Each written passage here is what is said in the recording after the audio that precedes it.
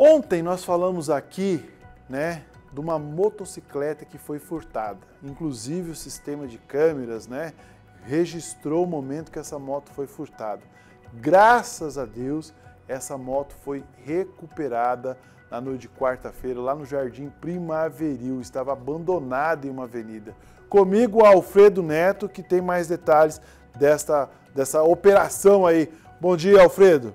Mesmo, Israel, o furto teria acontecido no domingo de uma moto de um moto entregador que estava esperando para pegar ali as entregas de uma lanchonete na Avenida Antônio Trajano, no bairro Vila Nova, quando uma pessoa teria montado na moto e ido embora. Desde então, esse trabalhador vinha atrás dessa motocicleta junto com a Polícia Militar e a Polícia Civil.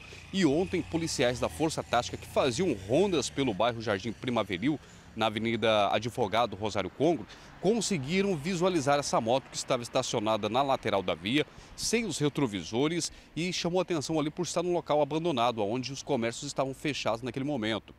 Os policiais desceram da viatura, foram fazer a checagem desse veículo por conta da característica se parecer com a moto furtada e também de estar no local aonde não havia ali comércio funcionando foi feita uma checagem, a placa não estava, então foi preciso checar o número de chassis. Durante essa checagem, foi constatado que a moto era produto de furto. Os policiais conseguiram fazer aí o contato com a vítima, que foi até o local, reconheceu o veículo como sendo dela e a moto foi levada para a DEPAC, Delegacia de Pronto Atendimento Comunitário, aonde foi registrado o boletim de ocorrência de achado de coisas. Agora vai ficar para a Polícia Civil fazer o levantamento de informações e tentar descobrir quem é o responsável por esse furto e é assim descobrir se ele é responsável por outros crimes de furto de moto e se ainda está agindo furtando outros veículos, porque os furtos de motos, bicicletas e outros tipos de veículos, como carro, tem um registro aí bastante alto em Três Lagoas. Cerca de 2 a 3 furtos de motocicletas são registrados